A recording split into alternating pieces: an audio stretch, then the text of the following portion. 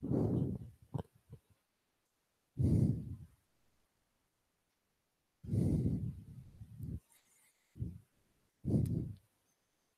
friends, once again we begin with syllabus of physics, chapter of optics.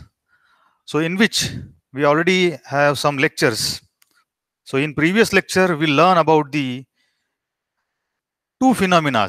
One is the reflection and second one is the refraction. So that two phenomena already you have learned in the previous standard. So once again, we have the phenomena of refraction of light and accordingly, we have the important quantity that is called refractive index. Okay. Now check carefully the refractive index. Again, we have the two types. One is called absolute refractive index. Second one is called relative refractive index. And that relative refractive index we are going to understood once again. Already we have explained in the last lecture but once again, we have the concept of relative refractive index. Now check carefully. Suppose we have light enter from one medium to other medium.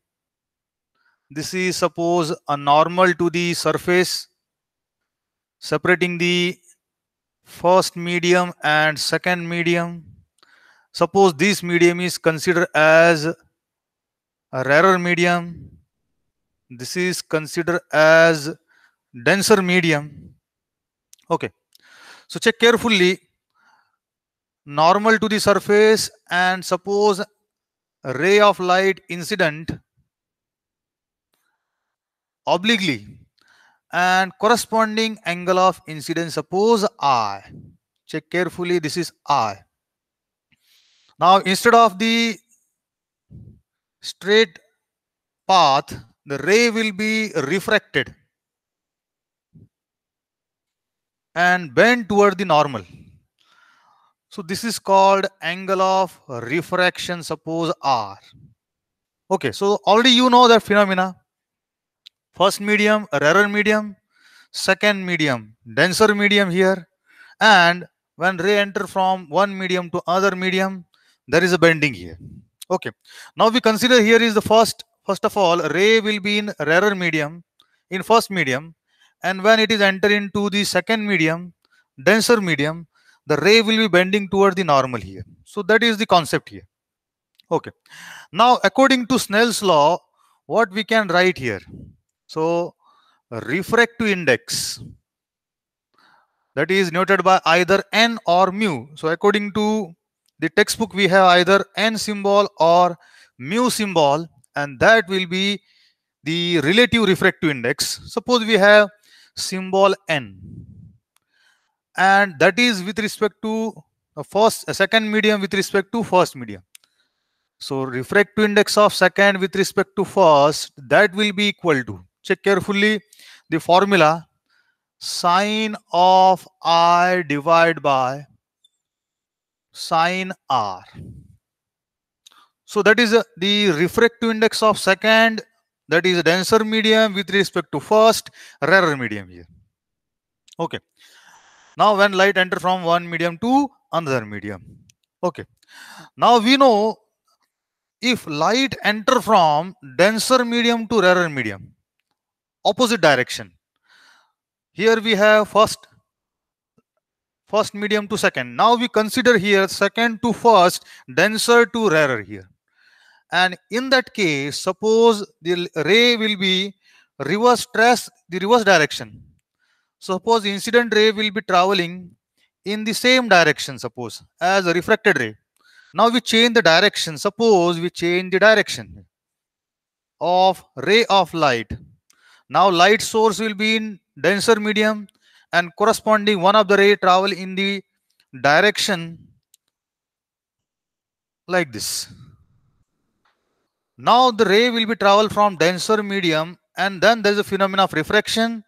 Denser to rarer, ray will be again bending away from normal. Now check carefully. Here we have the initial direction. Ray will be bending away from norm normal and we have the ray will be obtained like this. So this will be the refracted ray. So when it is travel from denser medium to rarer medium, ray will be bending away from normal here. Now check carefully. Suppose the angle of incidence in that case is suppose I dash. Now we have second condition. Already we have write the first condition. So this is first formula. Now we have the second formula. Angle of incidence in denser medium is I dash and corresponding angle of refraction that will be suppose R dash here. So here we have the light travel from second medium to first medium. Light travel from denser medium to rarer medium. And in that case, if you write the formula, then we have refractive index. Check carefully, refractive index is of second medium. Now here, first denser, second rarer. So we obtain refractive index of rarer medium with respect to denser. So we obtain refractive index of first medium with respect to second medium. Suppose ray of light travel from second to first and we obtain refractive index of first with respect to second. And that we can express like the sine of i dash divided by sine of r dash here. Check carefully formula. Sine of i dash sine of r dash and corresponding refractive index of second with respect to second medium means first with respect to second. So this is refractive index of first with respect to second in case of the ray travel from denser to rarer second to first like this. Okay. Now here we have r is equal to i dash and i is equal to r dash. That two angles are same here. So we have as i is equal to r dash. I is equal to r dash and r is equal to i dash these two are suppose same then what we express here is suppose if we replace either one of the two i replaces r dash r replaces suppose the i dash then what we obtain here is suppose we have equation number first equation number second now we either write the formula in terms of i dash and r dash. So i replaces r dash r replaces i dash here then what we have equation 1. So refractive index of second with respect to first that is equal to sine of I will be replaced as R dash divided by sine of R as I dash. Okay, check carefully. So what we obtain here is, check carefully the step. Now this term we send into divide to divide. So refractive index of the second with respect to first that is equal to 1 divided by this term we send into divide to divide. So this term we send sine r dash we send in divide. Okay. Now check carefully. Uh, sine r dash we send divide to divide. So 1 upon sine i dash divided by sine r, r dash. Sine i dash sine r dash. Sine i dash divided by sine r dash. What is that quantities? Index of first with respect to second here. So therefore we have one formula. Refractive index of second with respect to first is equal to 1 divided by this is using equation number 2 what we obtain? First with respect to second okay so this is one of the important conclusion. Refractive index of second with respect to first that is equal to reciprocal of refractive index of first with respect to second. Second with respect to first and first with respect to second are reciprocal to each other. So that will be the relation here. So that concept we are going to use in the next topic that is of total internal reflection here. Okay.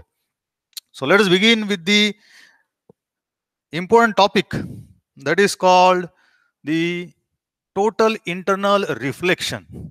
And for that we require this particular formula.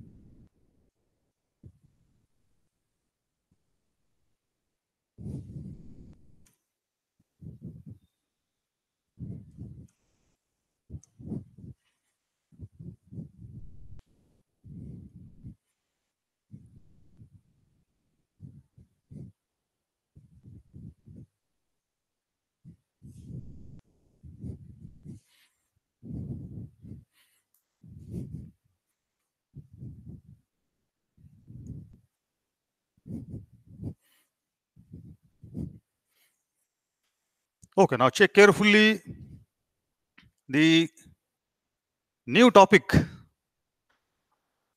as the phenomena.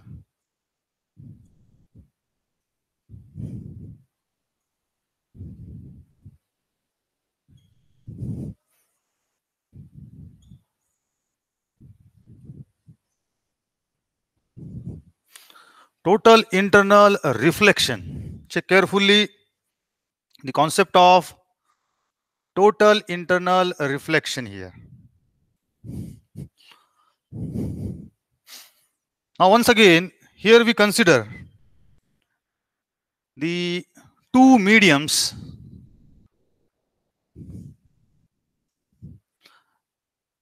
for example denser and rarer medium. Now check carefully. Here we have the denser medium and rarer medium so this will be considered as a denser medium and this will be as a rarer medium. Okay, now check carefully. A ray of light travel from denser medium to rarer medium. If we consider glass medium, light ray travel from the glass medium to the air medium or water medium to air medium and in that case we have the new phenomena called total internal reflection. So before going to define the total internal reflection we consider here what happens when rays traveling from denser medium to rarer medium here. Okay. So we consider the number of different rays. Suppose we have an object or the light source at this place. So at this place we have the light source s. And from that the light will be in denser medium and enter fr from denser to rarer medium. So rays will be travel in this direction. Suppose if you consider the first ray, that will be travel in a normal direction like this. So this ray without deviation, it will be travel in rarer medium. So no deviation. So here we have the I is equal to 0, angle of incidence equal to 0, and corresponding angle of refraction also equal to 0 here. I is equal to 0, R is equal to 0 here. Now check carefully, we have the second ray. And here we have the normal to this particular surface. So here we have angle of incidence, suppose I1. Check carefully, angle of incidence suppose I1 and the ray will be travel from denser to rarer away from normal. It will bend away from normal. So it will bend like this. And corresponding angle of refraction is suppose R2. Okay. Similarly, again we have the second ray suppose traveling in this direction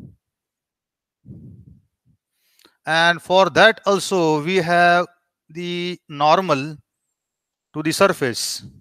And corresponding angle of incidence normal and incident ray these angle of incidence is i2 again if we compare i1 i2 i2 is greater than i1 so here we have angle of refraction.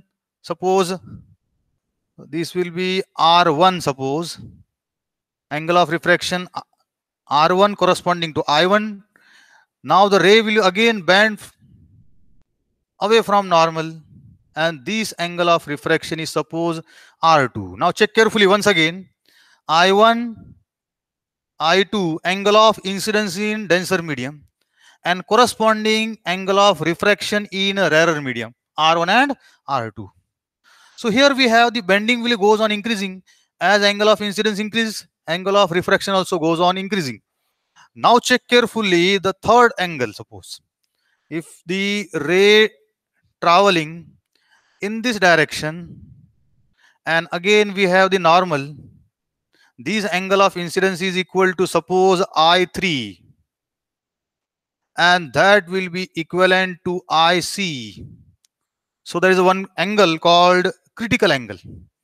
I3 exactly equal to ic ic is known as critical angle. Then later on we define that ic here. Okay. So check carefully. Angle of incidence goes on increasing. Corresponding angle of refraction also goes on increasing here. So when i3 exactly equal to suppose critical angle and that angle is denoted by suppose ic then angle of refraction is equal to 90 degree. Check carefully. This will be r3 is equal to 90 degree so this is the important condition for the phenomena of total interreflection. So for angle I3 that is equal to IC suppose one of the critical angle that critical angle depend upon these two mediums. So for I3 exactly equal to IC angle of refraction here goes on bending and now bending will be such that it will travel along boundary and corresponding ray travel along the surface normal and the surface or the ray that angle is 90 degree. So r3 is equal to 90 degree here. Okay. Now we further increase the angle of incidence again. So angle of incidence again if we increase that is suppose i4 and now the angle of refraction is greater than 90 degree. Ray will be travel in this direction. So check carefully. I4 here is greater than the IC and the corresponding ray will be reflected reflected into the denser medium. And that co corresponding phenomena is called total internal reflection here. So the angle of incidence for which the angle of incidence greater than critical angle the angle of incidence greater than critical angle, the ray totally, the ray totally reflected, phenomena of reflection, reflected into the same denser medium, same medium. Suppose if we keep mirror like this, and there is a phenomena of reflection, so you know, like that phenomena obtained, that phenomena is called total internal reflection. Light doesn't enter from one medium to other medium. So light remain in the same medium, denser medium, and that phenomena so this is called total internal reflection.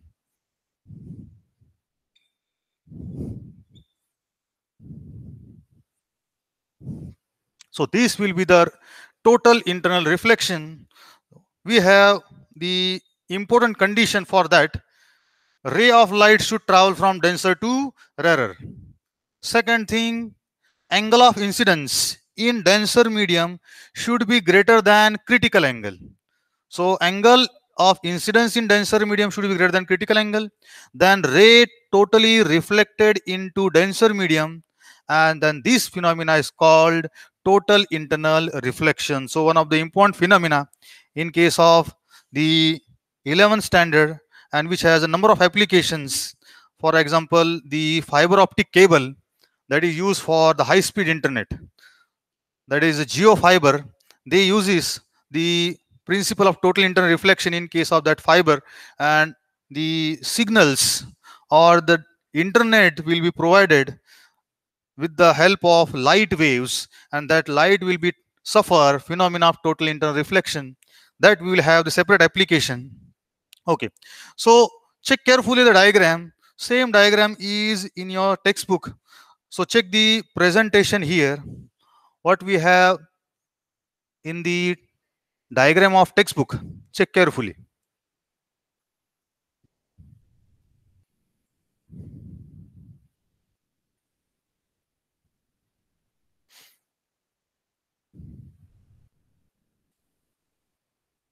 Check carefully the diagram for total internal reflection. See here, we have optically denser medium. This is the denser medium and above which there is optically rarer medium here. Okay. Now we have the ray traveling and incident at the first ray having angle of incidence I1 and it will bend away from normal. So R1 is greater than I1 here. So angle of refraction in rarer medium greater than angle of incidence in denser medium. So ray will be bending away from normal that we know. Now similarly, if we increase angle of incidence, so I2 will be less than IC. So again I1 and I2 if you compare, this angle of incidence goes on increasing. So I2 again less than I3, uh, IC sorry. So IC is critical angle and for that also there's a bending R2 will be greater than I2 and ray will be again bend away from normal. Now check carefully, we have the important third ray. And for the third ray, we have I3 that is equal to IC. Angle of incidence I3 that is equal to critical angle. And that will be such that angle of refraction is equal to 90 degree. And for that, the ray will be traveling in the horizontal or the boundary separating the two medium. So corresponding angle of refraction is equal to 90 degree. Optically rarer medium. So ray doesn't enter into the rarer medium and the ray will be traveling along the boundary separating the two mediums. So this is for angle called critical angle. That is I, I3 here. Now if we increase further I4, so the in ray traveling in this direction and then there is a the ray will be doesn't enter into denser medium, uh, sorry, rarer medium. That ray remain in the denser medium. So check carefully I4 that is greater than IC already we have explained in the board. And for that case, the ray will be reflected into the denser medium and that phenomena is called the total interreflection and this ray is called total internally reflected ray. So ray doesn't enter into denser to rarer medium but remain in the denser medium and has the concept of total internal reflection here. Okay, so this is the new phenomena and has a number of applications. Okay, so what we have to write down in examination, we have to draw the exa uh, the ray diagram and few points we have to express. So let us have the what already we have explained these points. So let refraction of light emerging from denser medium into rarer medium. So we consider here uh, refraction from denser medium to rarer medium for various angle of incidence. So that we consider I1, I2, I3, I4. Now number second point, the angles of refraction in rarer medium are larger than the corresponding angles of incidence. Okay, so angle of angles of refraction in rarer medium are larger than angle corresponding angles of incidence. So angle of refraction, this is because of bending of ray away from normal. So angle of refraction is greater than angle of incidence. And number th third, at particular angle of incidence IC, at particular angle of incidence IC, in the denser medium. Check carefully. We have the important angle angle of incidence ic in denser medium. The corresponding angle of refraction in rarer medium is 90 degree. Angle of refraction is 90 degree. So that is the important angle called critical angle okay. And now we have the actual definition of total internal reflection for angles of incidence. Check carefully for angles of incidence. We have a number of angles similar to i4 so angles of incidence greater than IC, the angle of refraction become larger than 90 degree and the ray does not enter into rarer medium. Ray does not enter into rarer medium at all but is reflected totally into denser medium. Check carefully. Angles of incidence greater than IC, that is important condition and that all angles which are greater than IC, the angle of refraction becomes larger than 90 degree, greater than 90 degree, and the ray does not enter into rarer medium at all, but is reflected totally into denser medium. This is called total internal reflection. So this is the important definition in which we have to express all the points. And the next important definition is of the critical angle. Critical angle for a pair of refracting medium can be defined as the angle of incidence in denser medium for which the angle of refraction in the rarer medium is 90 degree. So the angle of incidence in rarer medium, uh, sorry, angle of incidence in denser medium that is the IC for which angle of refraction that R is equal to 90 degree That already we have explained. So these are the few points. Now we have the important formula. Check carefully. Let mu be the refractive index of denser medium with respect to rarer medium. So we consider here is mu refractive index or relative refractive index of denser. So denser medium refractive index with respect to rarer medium. Now we apply the Snell's law at a critical angle of incidence. So we have the formula refractive index of second with respect to first. Check carefully. Here we have second medium rarer, first medium denser. Check carefully and for that we have sine of i divided by sine of r. And already we have explained in the previous topic that is uh, refraction and has principle of reversibility. Refractive index of second with respect to first that is equal to 1 upon the refractive index of first with respect to second. So these are reciprocal to each other. So these refractive index already we have given second with respect to first refractive index of rarer with respect to denser. And number second refractive index of first with respect to second that is considered as a mu. Refractive index of denser with respect to rarer. So we require refractive index of denser here with respect to rarer medium. And if we have the condition if we apply the condition for total interreflection i is equal to ic then r is equal to 90 degree. If we express this formula uh, this particular i is equal to ic in above formula r is equal to 90 here. So what we obtain here is sine IC divided sine 90 equal to 1 upon mu. So 1 upon mu first with respect to second. So first with respect to second is considered as a mu here. So we obtain the formula sine 90 is equal to 1 and sine IC is equal to 1 upon mu. So what we have the formula? Check carefully.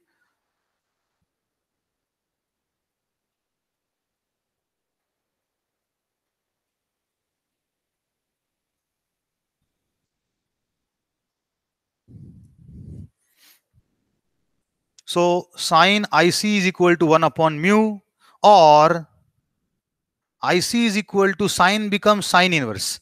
Sine becomes sine inverse and 1 upon mu in bracket here. So we have formula for critical angle IC is equal to sine inverse of 1 upon mu here. Okay. So this is the required formula for the phenomena of total internal reflection in which we have the formula for the critical angle. Now we have the two examples for common used glass or glasses. We have refractive index 1.5 and for that refractive index 1.5 if we calculate IC by replacing the formula in this for this case check carefully sine IC is equal to 1 upon mu. Suppose we calculate here for the mu is equal to 1.5 here 1.5 so when we calculate 1 upon 1.5 and we solving for the sine inverse so we obtain ic is equal to near about 41 degrees 49 minute or nearly equal to 42 degrees here. So how to check this particular part how to take sine inverse that we will learn in the log table portion. So that also we have the separate lecture for understanding of log table as well as sine cos tan function. So for the glass having refractiveness 1.5 IC is equal to near about 42 degrees. And for water medium refractiveness is nearly equal to 4 by 3 and when we solve for water IC is obtained as near about 48 degrees 35 minutes. Both will be with respect to air medium here. So this will be the example of the critical angle for glass as well as critical angle for water and based on that we have the number of applications. So application of total internal reflection. So that we will learn in the next lecture here. Okay